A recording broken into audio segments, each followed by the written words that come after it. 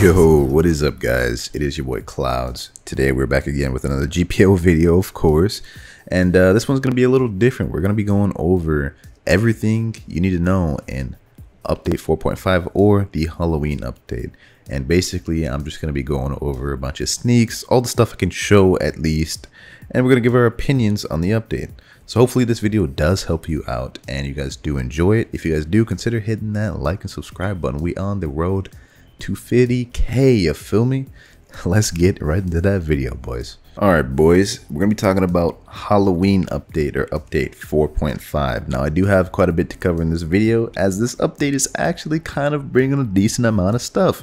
Like i'm genuinely surprised how much stuff this update is bringing I thought this would be a good idea to do this video once I had a solid amount of snakes to do, and as it seems the update is coming closer. We're coming to an end to October, so I thought now would be a great time to cover this video. So the first thing I feel like would be a good thing to mention is the M1 nerf. Uh, Foyu has already mentioned that he's going to nerf M1 scaling overall, and as you guys can see in this clip, the before damage versus the after after the scaling, it is quite a huge difference. So no more will there be the massive amount of, of M1 in Arena. This was a really big issue in Update 4. It was already an issue in Update 3 when we had, you know, 35 to 40 average, but now we have people doing 50 to 60 average in this meta where everyone's putting all their points on sword, me included. I'm also, you know, a part of the problem. I'm not even gonna lie to you but this will fix a lot of your guys' issues on um, one thing in update 4.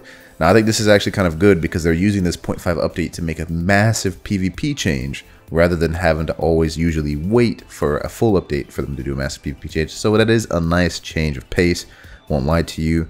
The next thing they're doing is they're, um, as you guys can see in the screenshot right now, they're increasing the vertical range of weapons. This is an interesting choice because this will take a level of uh, a level away of skill per se, because now you're not going to be able to get out of M1s that good. So movement won't be as much of an asset like it used to be. Um, movement was one of the things that was kind of skill in this game where you would use your movement to kind of maneuver around M1s as well as kind of, you know, uh, skillfully go, get around your opponent and stuff like that. So that's no longer going to be a thing. Next thing that's getting added in update 4.5 is Devil Fruit Reset Bag is going to be tradable. Um, that is a, another cool but subtle thing that's going to be added to this, as well as Devil Fruit Resets. So it's kind of, as you guys can see in the screenshot over here, it's going to kind of be like Rokas from uh, YBA, if you guys have ever played YBA.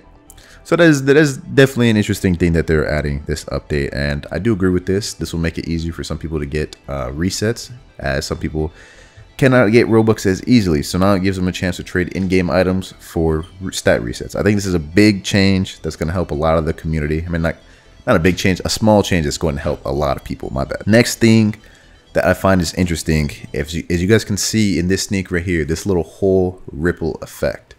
Um, this is an interesting thing that they're adding to the Halloween update, and this directly leads into the next sneak, which is the zombies, as you guys can see. Um, I think it'll be some underworld type thing, type theme, which will very much fit the Halloween type theme, if if, you, if that makes sense.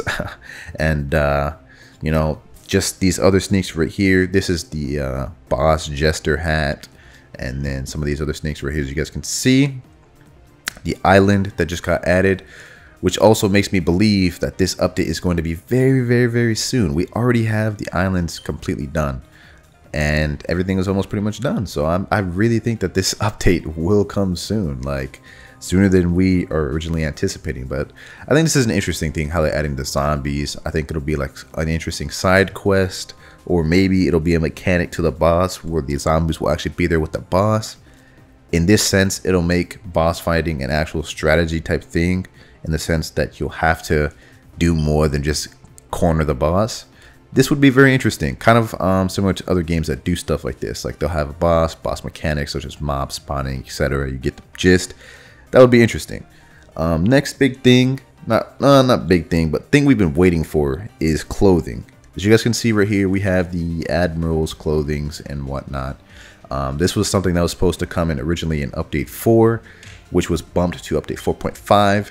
And these clothing look fire. But this isn't even the best one, boys. This one right here is the best one. The ones that come with the other anime clothing, Bleach, you guys see Kenpachi's clothing and everything. this is the one I was really hyped for, and I was hoping that they would bring it to update 4. But we did have to wait about an extra month. Not a big deal, I would say. Um, not too too too too long. Earlier than like you know previous updates, but these clothings are definitely fire. And as you guys can see, he is adding some shoes. Um, these shoes actually do look fire. They added the Crocs in here, you know what I'm saying? Got a got a drippy, got a drippy, and and uh, Bannier did say he would add Air Jordans eventually for the Christmas update or whatever. So that is something else to look forward to. Um, next thing is grip animations. As you guys can see on the screen right here, we have the Jester grip animations, which in my opinion is really good grip animation. Like they actually put some work into this. And uh, this one right here is the uh, Hollow's Fang grip animation. Hollow's Fang grip animation is kind of more subtle. I don't really think that one's as nice, but it is it is alright. It is alright to say the least.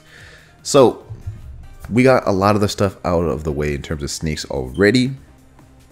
But now we're going through the weapons. Now we've already seen the um you know everything on the weapons, but I th honestly think these are very interesting. Like we have a unique weapon, one of a kind on both ends. Well, uh the Jester Scythe is more of kind of like it kind of like is similar to other weapons, but the Hollow's Fang, even though it might not be the best weapon, one thing it definitely has over every single weapon in the game is that level of uniqueness.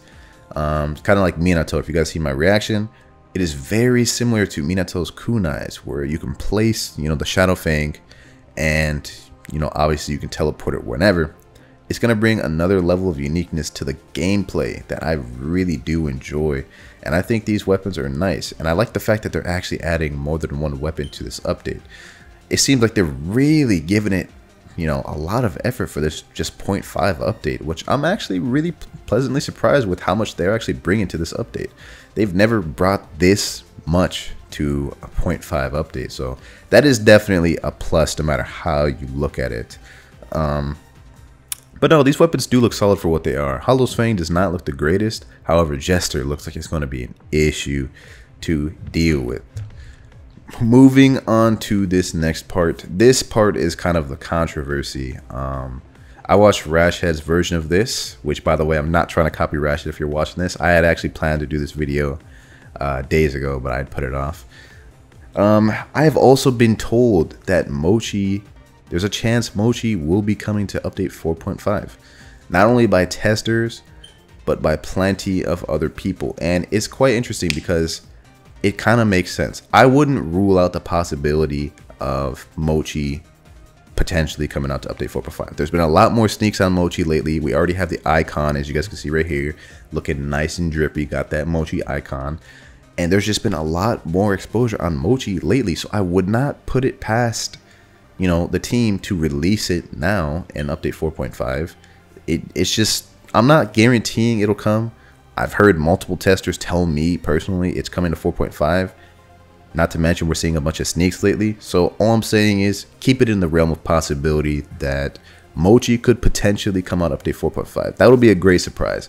Now, if you ask me, I think it's less than a 50% chance it will. Probably like only like 20% chance it will because it is such a major fruit and it doesn't really make sense to add such a major fruit on a, not a major update. They usually keep those, you know, those two separated, but there is definitely a possibility. Obviously, we got Horo Horo no Mi. Um, I'm really excited for this fruit. You know, Perona is a cool character in the anime, and her show and her ability in the show, I meant, my bad, is actually quite, quite nice. I mean, it doesn't look like it'll be the greatest fruit in the game, but it's kind of similar to, like, you know, a 0.5 update would be. Usually 0.5 updates add less relevant fruits um, and leave the major fruits for you know the big updates obviously.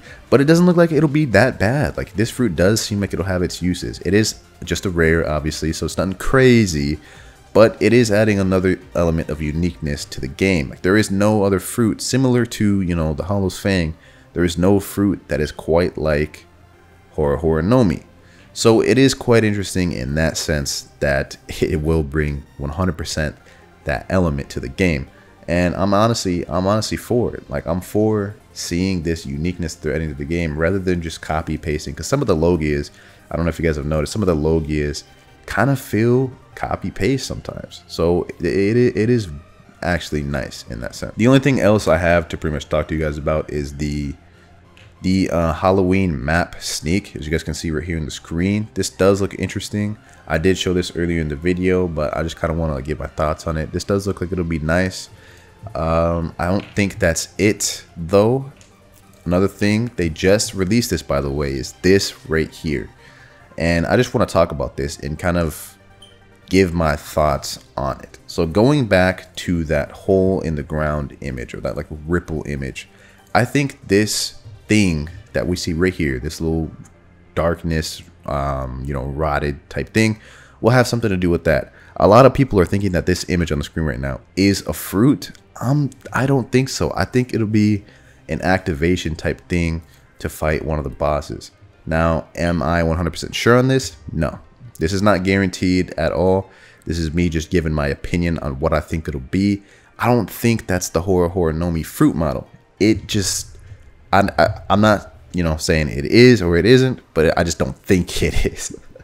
Don't ask me why. I just have a feeling that it has something to do with the hole in the ground. I feel like the two correlate in some way. Um, other than that, that's pretty much all the sneaks I can show as of right now.